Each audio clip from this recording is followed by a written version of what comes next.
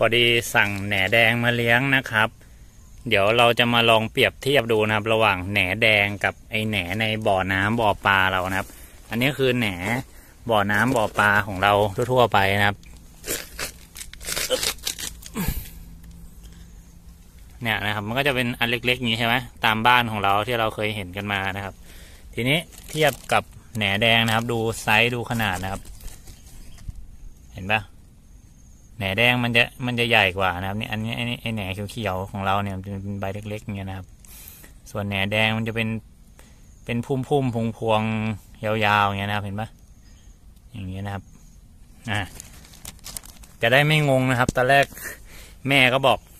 อันนี้มันมันมันเกิดขึ้นมาเองนะมันน่าจะมีเชื้อนะครับ ตอนฝนมาปุ๊บแล้วน้ำน้ำมันมันน้ำมันท่วมขึ้น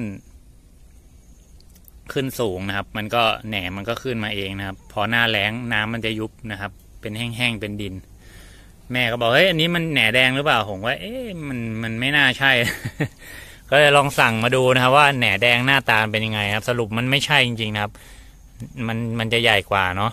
อ่า ประมาณนี้นะครับ เปรียบเทียบข้อแตกต่างระหว่างแหนแดงกับแหนบ่อน้ำบ่อปลาที่เราคุ้นชินนะครับ จะได้แยกแยะถูกเนาะ